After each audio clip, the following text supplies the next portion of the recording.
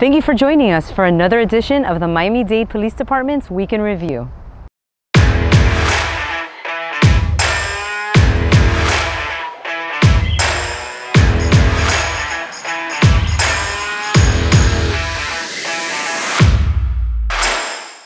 With a series of fun themed activities, we celebrated Public Safety Telecommunications Week to honor a group of MDPD personnel whose heroics often go unnoticed. Working behind the scenes, complaint officers, dispatchers, and their support personnel provide an indispensable service to the public and to police officers 24 hours a day, 7 days a week, 365 days a year. We applaud these heroes and honor them for their commitment, courage, and compassion. Around the nation, for me, it means so much. It's heartwarming. It melts my heart to see telecommunicators all over the country being honored. It really makes me feel like my work is appreciated. For the unsung heroes, no one ever knows we're there. So this is our week to shine.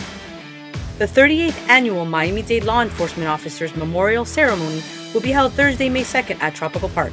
Members of the public are invited to join us as we honor officers from Miami-Dade County law enforcement agencies who lost their lives in the line of duty. Join the MDPD and the Miami Dade County Medical Examiner Department on Saturday, May 4th at Florida International University for their first annual Missing and Unidentified Persons event. We hope to see you there.